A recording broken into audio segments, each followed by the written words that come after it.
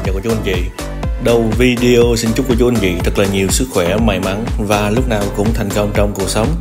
Xin giới thiệu với cô chú anh chị một căn nhà mặt tiền nằm trên trục đường số 1 khu dân cư Nam Hùng Vương thuộc phường An Lạc, quận Bình Tân.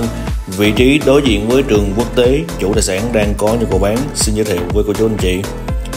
Với diện tích ngang 4,5 chiều dài 20 công nhận trên sổ là 90 m2 đất ở đô thị 100% kết cấu trệt hai lầu và sân thượng.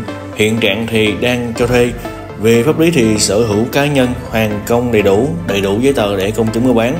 Và chủ nhà không thế chấp ngân hàng. Hướng chính là hướng tây bắc. Và hiện tại tài sản này đang được chủ nhân chào bán là 10,5 tỷ và còn thương lượng trực tiếp với chủ tài sản.